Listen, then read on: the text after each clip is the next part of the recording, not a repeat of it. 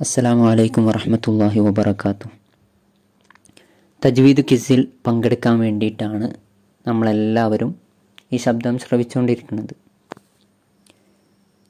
തജ്വീദ് എന്ന് പറഞ്ഞാൽ തന്നെ നമുക്ക് പെട്ടെന്ന് മനസ്സിലേക്ക് ഓടി വരിക ഖുർആനാണ് അതുകൊണ്ട് തജ്വീദുൽ ഖുർആൻ എന്ന് പറയേണ്ട ആവശ്യമില്ല. ഖുർആൻ ഇസ്ലാമിന്റെ നിയമ പുസ്തകമാണ്. അള്ളാഹു സുബാനുവ താല ഉണ്ടാക്കിയ നിയമങ്ങൾ അല്ലേ ആ നിയമപുസ്തകത്തെ നമ്മൾ ഒരുപാട് തവണ വായിക്കുന്നു. ഒരുപാട് ഹത്തമ് തീർക്കുന്നു. ഒരുപാട് ആവശ്യങ്ങൾക്ക് വേണ്ടി ഉപയോഗിക്കുന്നു. മരുന്നായിട്ട് ഉപയോഗിക്കുന്നു.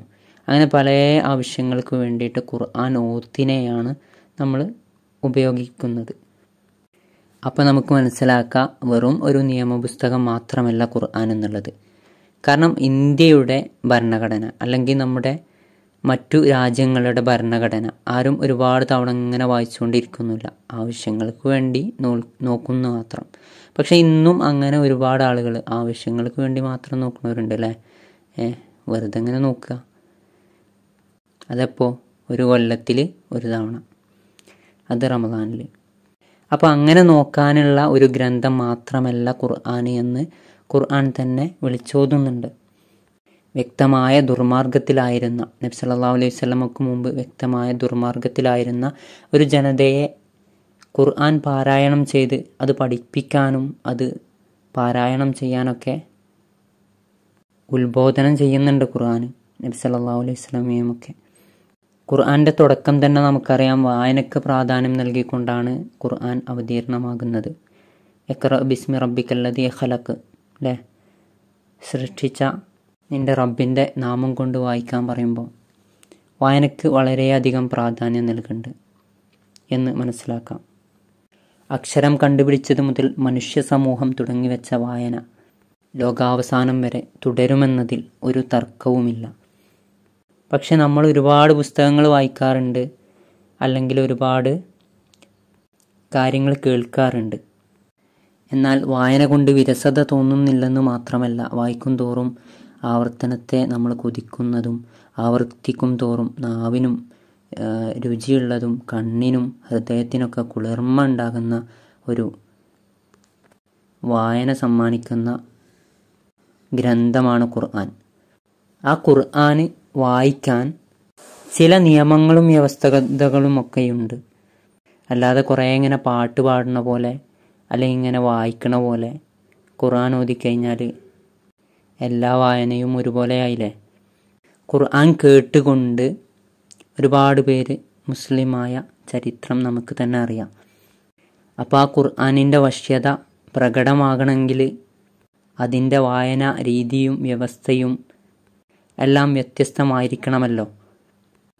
ആ രീതി ആ നിയമം അതൊക്കെ പഠിക്കലും അപ്രകാരം മാത്രം പാരായണം ചെയ്യലും നമുക്ക് അനിവാര്യമാണ്.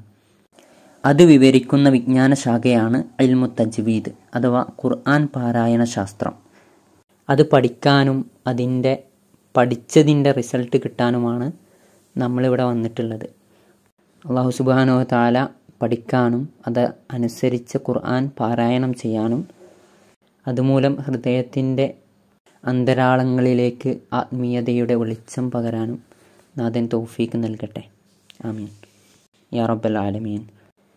ഒരിക്കൽ ഉബയ്യ അലി അള്ളാഹു അൻഹു ഒരു മനുഷ്യനെ ഖുർആൻ പഠിപ്പിക്കുമ്പോൾ നബിസല്ലാഹു അലൈഹി വസ്ലമ തങ്ങൾ പറയുകയുണ്ടായി. ആദ്യമായി അദ്ദേഹത്തിന്റെ ഉച്ചാരണം ശരിപ്പെടുത്തുക. പിന്നീട് അദ്ദേഹത്തിന് ഖുർആൻ പഠിപ്പിച്ചു കൊടുക്കുക. തീർച്ചയായും നിനക്കതിനാൽ പ്രതിഫലം ലഭിക്കും. ഖുർആൻ അവതരിപ്പിച്ചപ്പോൾ അള്ളാഹു പിഴവായി അവതരിപ്പിച്ചിട്ടില്ല. അതുമായി വന്ന ജിബിരിൽ അലഹിസ്സലാമും പിഴവായി ഓതിയിട്ടില്ല. എനിക്കാണ് ഖുർആൻ അവതരിച്ച് കിട്ടിയത്. ഞാനും പിഴവായി ഓതിയിട്ടില്ല. തീർച്ചയായും ഈ ഖുർആൻ ശുദ്ധ അറബി ഭാഷയിലുള്ളതാണ്. അക്ഷരശുദ്ധിയോടെയും നിയമാനുസൃതമായും മാത്രമേ ഖുർആൻ ഓതാവൂ എന്ന കർശനം ഈ തിരുവചനം പഠിപ്പിക്കുന്നുണ്ട്. അതുകൊണ്ടാണ് നമ്മൾ ഖുർആൻ ഒന്നാം ക്ലാസ് നിന്ന് പഠിക്കണില്ലല്ലോ. ഒന്നാം ക്ലാസ് നിന്ന് നമ്മൾ അക്ഷരങ്ങളാണ് പഠിക്കുന്നത് അതിനുശേഷം നമ്മൾ തജ്വീദ് പഠിക്കുന്നു. ആ തജ്വീദ് അനുസരിച്ച് നമ്മൾ ഓതൽ നമുക്ക് നിർബന്ധമാണ് കാരണം നബി സല്ലല്ലാഹു അലൈഹി വസല്ലമ തങ്ങൾ പറയുന്നുണ്ട് റുബക്കാരി ലിൽ ഖുർആാനി വൽ ഖുർആാനി അൽ അനുഹു. ഖുർആൻ ധാരാളം ആളുകൾ ഓതുന്നു. എന്നാൽ തെറ്റായി പാരായണം ചെയ്യുന്നത് കൊണ്ട് ഖുർആൻ അവരെ ശപിക്കുകയാണ് ചെയ്യുന്നത് എന്ന് അപ്പോൾ ഖുർആൻ തെറ്റായി ഓതുന്നത് കൊണ്ട് നമുക്ക് ശിക്ഷയും ലഭിക്കുമെന്ന് അതിൽ നിന്ന് വ്യക്തമാണ്. ഒരുപാടൊന്നുമില്ല തജ്വീദ് പഠിക്കാൻ. പക്ഷെ കുറച്ചാണെങ്കിലും അത് വ്യക്തമായിട്ട് നമ്മൾ പഠിച്ചില്ലാന്നുണ്ടെങ്കിൽ വ്യക്തമായ പിഴവിലാണ് നമ്മൾ ഖുർആൻ ഓതുക എന്ന് പറയും. കുറച്ച് കാര്യങ്ങൾ ശ്രദ്ധിക്കുക. മഹറജ്. മഹറജ് എന്ന് പറഞ്ഞാൽ എന്താ? മഫാലി വസിൻ എന്ന് വരുന്നത്. പുറപ്പെടുന്ന സ്ഥലം അല്ലേ? മമ്പിത്ത് മമ്പിത്ത് ഷാർ എന്ന് പറഞ്ഞാൽ മുടി മുളക്കുന്ന സ്ഥലം മമ്പിത്ത്. മജ്ലിസ് പറഞ്ഞാൽ ഇരിക്കുന്ന സ്ഥലം. അപ്പോൾ മഹ്റജ് നമ്മൾ അറിയണം. ഓരോ അക്ഷരങ്ങളും എവിടെ നിന്നാണ് വരുന്നത്? പല്ലുന്നാണോ? തൊണ്ടേന്നാണോ? അതല്ലെങ്കിൽ അണ്ണാക്കുന്നാണോ? നാവുന്നാണോ? അല്ലെങ്കിൽ നാവും പല്ലും തട്ടുമ്പോഴാണോ? നമ്മൾ ചെണ്ടകൾ കണ്ടിട്ടില്ലേ? അത് പലതുമ്മയും കൊട്ടുമ്പോൾ പല ശബ്ദക്കാരല്ലേ? പല ചെണ്ടകളുണ്ടല്ലോ. ചെണ്ട തബല അങ്ങനെ പല പേരുകളിലായിട്ട് ചെണ്ടകളുണ്ട് അല്ലേ അപ്പോൾ അതുമ്പോൾ പലതുമേയും കൊട്ടുമ്പോൾ നമുക്ക് പല ശബ്ദങ്ങളാണ് വരുന്നത്. വ്യത്യസ്തമായിട്ടുള്ള ശബ്ദങ്ങളാണ് വരുന്നത്. അപ്പോൾ അത്തരത്തിൽ നമ്മുടെ വായിൽ നിന്നും തൊണ്ടയിൽ നിന്നും തരിമൂക്കിൽ നിന്നും ഒക്കെ ശബ്ദങ്ങൾ വ്യത്യസ്തമായ രീതിയിലാണ് വരുന്നത്.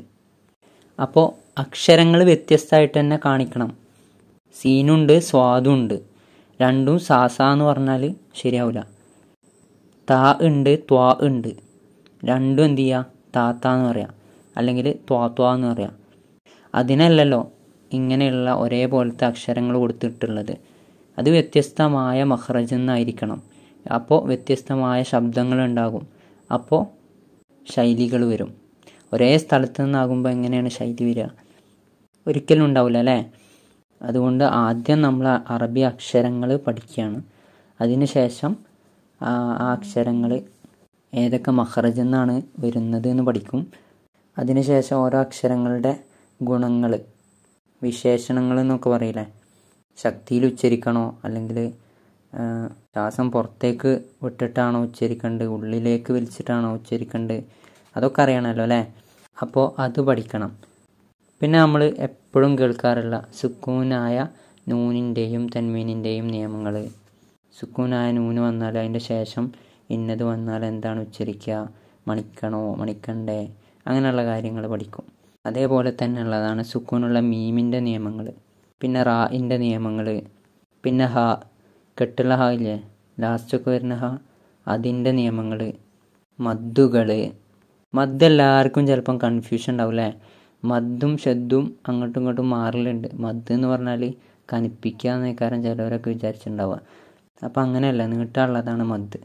അങ്ങനെ പലരും പറഞ്ഞു കേട്ടിട്ടുണ്ട്. അപ്പോൾ മദ് നീട്ടാനുള്ളത് എത്ര കതിർ നീട്ടണം? ആറ് കതിർ നീട്ടേണ്ടതുണ്ട് ഏഴ് കതിർ നീട്ടേണ്ടതുണ്ട് രണ്ട് കതിർ നീട്ടേണ്ടതുണ്ട്.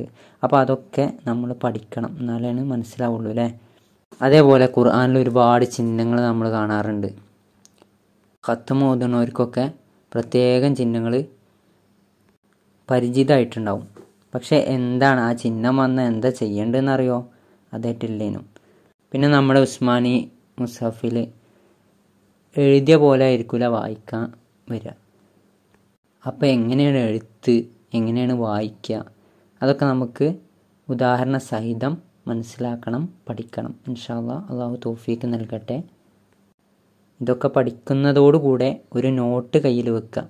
എന്നിട്ട് രേഖപ്പെടുത്തി പഠിക്കുക. അങ്ങനെയെന്നുണ്ടെങ്കിൽ ഒന്നുകൂടി എളുപ്പം നമുക്ക് പഠിക്കാൻ കഴിയും. ഇൻഷാല്ല അടുത്ത ക്ലാസ്സുകളിലൂടെ നമുക്ക് തജ്വീദിന്റെ മുൻ പറയപ്പെട്ട കാര്യങ്ങളൊക്കെ പഠിക്കണം.